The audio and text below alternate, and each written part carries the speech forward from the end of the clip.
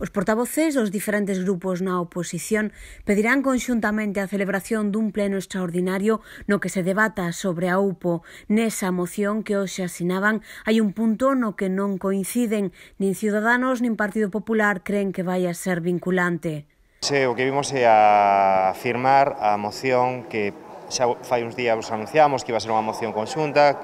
presentada por todos os grupos para defender os intereses da Universidade Popular, que consideramos que son os intereses da cidade de Ourense, que se sinten atacados ahora mesmo por un alcalde que non quere escoitar a nada do que importa aos veciños. Así que unha moción nunca é vinculante, e, por lo tanto todo depende da, da decisión do goberno. En este caso, pois, basicamente, mantéñome en esa postura muy a meu pesar. Nosotros tenemos muchas dudas de que las solicitudes que se hacen en esta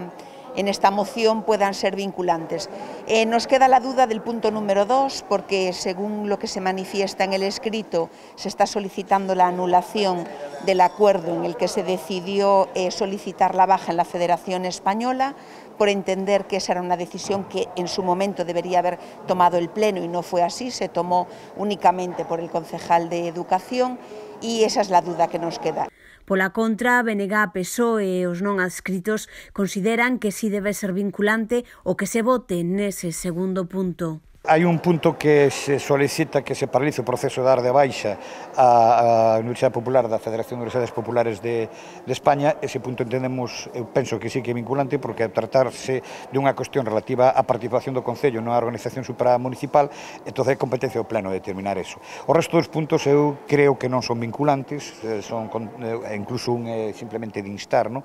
Eh, pero bueno, como debate político, como manifestación da voluntade do, da cidadanía, pareceme perfecto que que, acuda ao pleno. E, e máis, eh, penso que é o, o vehículo adecuado, que é o, a casa de todos os ciudadanos, que é o pleno, onde se debe ventilar estas cuestións e facer un chamamento ao alcalde para que goberne con arreglo os intereses da ciudadanía e o que quere a ciudadanía, non como dixo recientemente nun pleno, ir contra a ciudadanía porque quería, quería cambiar o mundo, o, sea, o mundo non hai que cambiarlo, si está ben, hai que cambiar o que está mal, pero o que está ben non hai que cambiarlo. Un punto que é claramente vinculante, que é o que obriga a ter o convenio ca Federación, neste caso da, da UPO,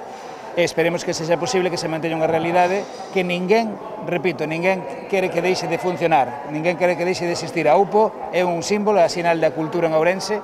e todos os grupos políticos, incluídos tamén os representantes do grupo non escritos, asinamos hoxe, asinamos hoxe para que sexa posible.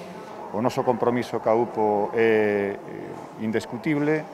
e, e polo tanto, nós outro día comprometímonos a impulsar o pleno extraordinario, hoxe